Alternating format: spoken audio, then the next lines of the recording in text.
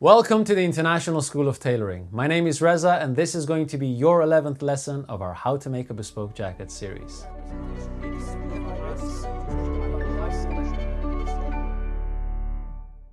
So in our previous lesson, I showed you what the correct posture is and why it's important.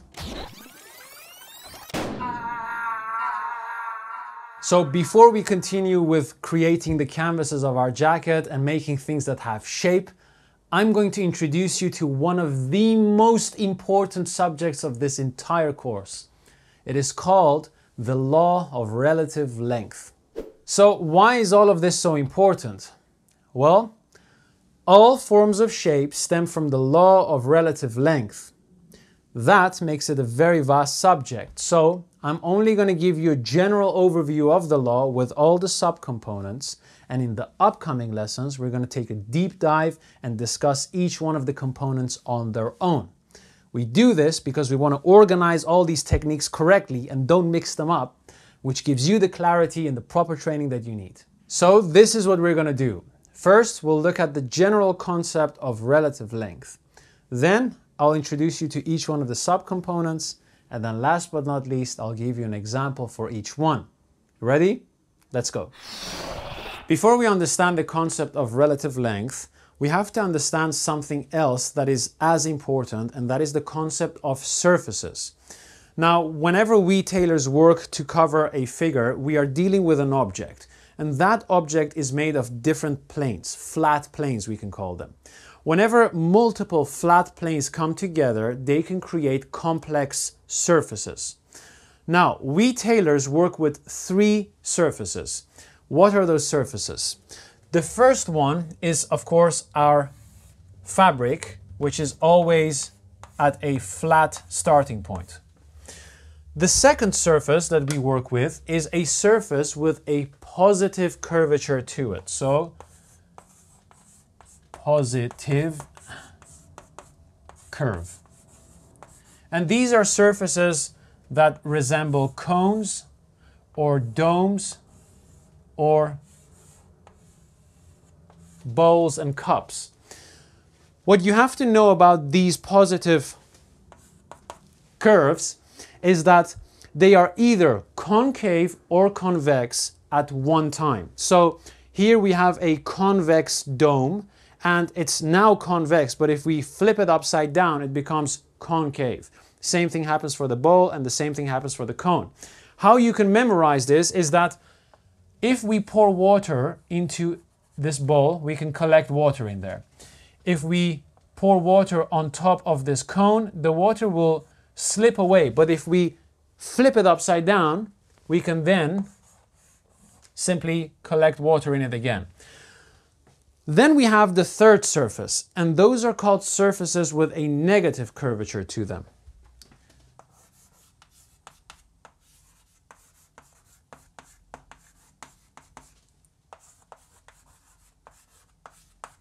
And these are surfaces that look like saddles,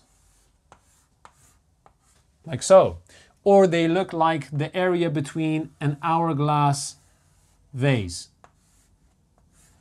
this area in between.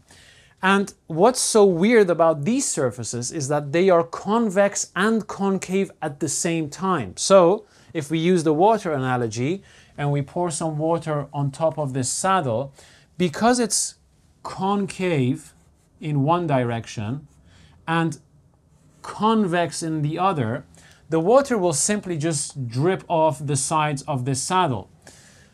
You might then say, well, let's try to flip it upside down. And so if we do that, like so, and we pour water again in this saddle, the water again will just drip away from the sides because it's always concave and convex at the same time, no matter how you flip it.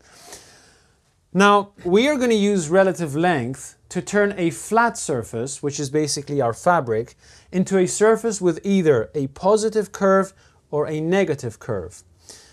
Now that you understand this, let's see what relative length has to teach us. So what is the law of relative length telling us? Well, it says that shape is created when the length of a surface changes relative to the length of the rest of that surface on one single layer or multiple layers. How does this look like in practice? Imagine that we have a square. The only reason why we call this a square is because the outer edges are defining it as a square. If we have a circle, we only call this a circle because the outer edges are cut like a circle. But the surface of both of these shapes is flat. If we cut out our fabric, it's just a flat piece of fabric. Now, imagine that I have this square in front of me and I can push into the square and by pushing into the square, I am stretching the surface of the area that I push in. So let's say I push a little bit on this area and I push a lot in this area.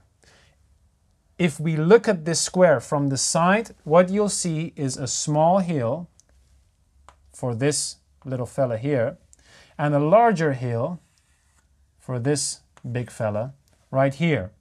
So by pushing into the square and stretching these areas out, I have changed the length of the surface of these areas relative to the areas around them. Okay? Now, we can change the surface of our material in a variety of ways. We can do that with ironwork, we can do that with gathering the material, we can do that with darts, we can do that with relative layer length, and we can do that by joining two layers with different angles together. So, for example, if we have a square here and we take our iron, let's say this is our iron, and we stretch out the top edge of this square, what's going to happen is we're going to end up with a square that has a ripply edge because that edge has become longer like so.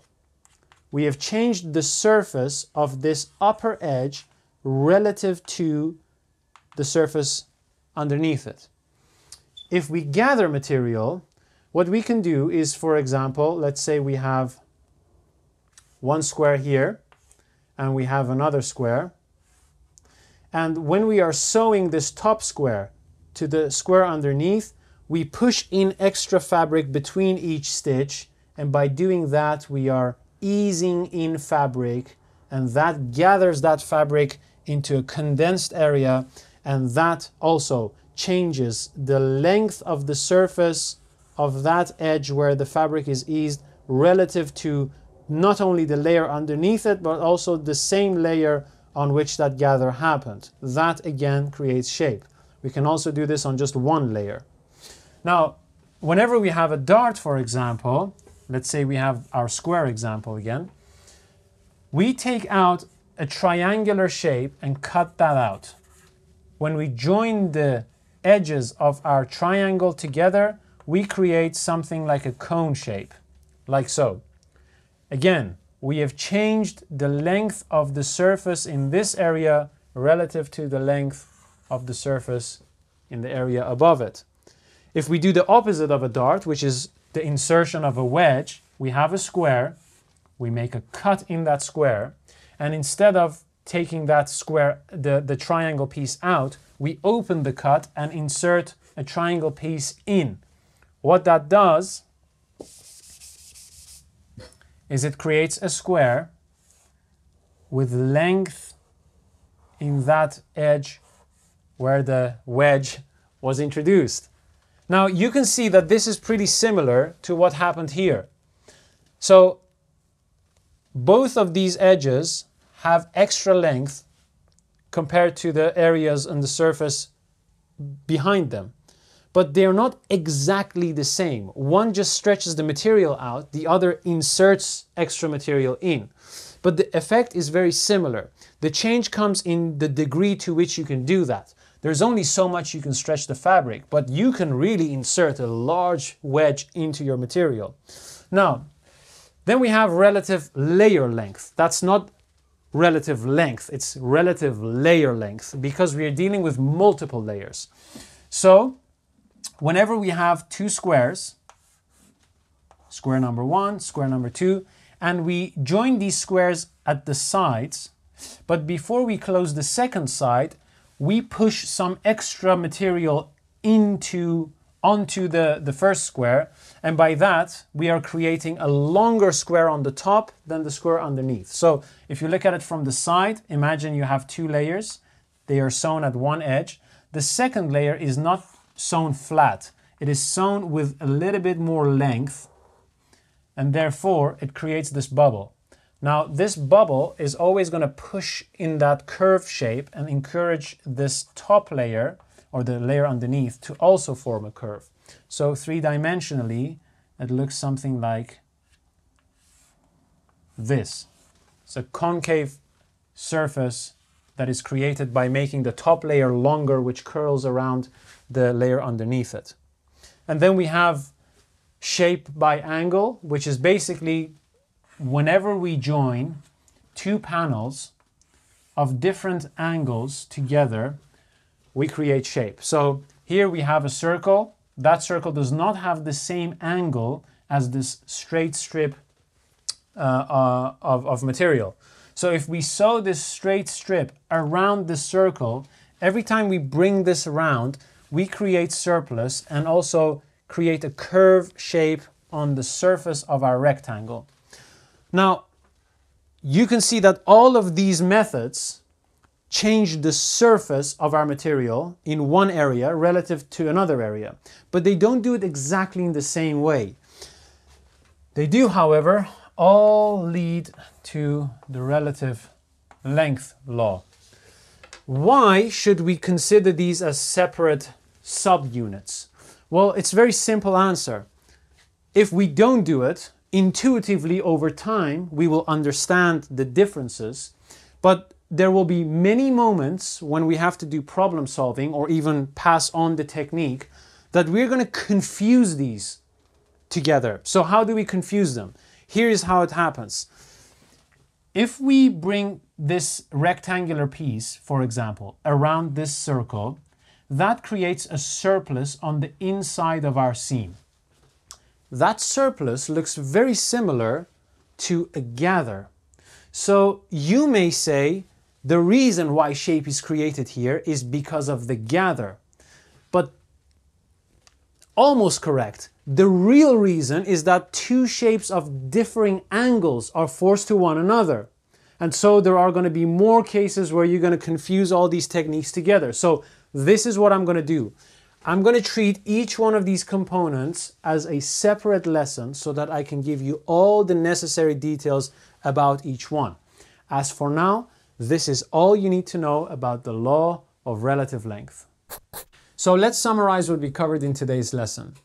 Shape is created whenever the surface of a layer changes in length relative to another surface of that same or multiple layers.